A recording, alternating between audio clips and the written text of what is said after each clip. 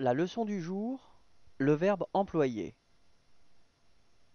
Verbe, employer, mode. Indicatif, temps, présent. J'emploie, répétez.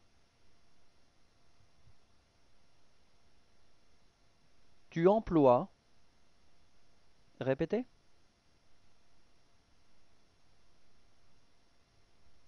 Il emploie, répétez.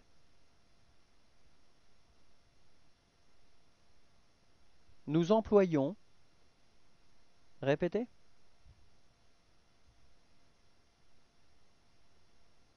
Vous employez, répétez.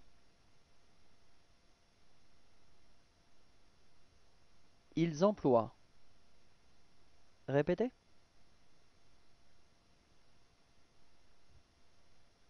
Merci à tous, au revoir et à bientôt.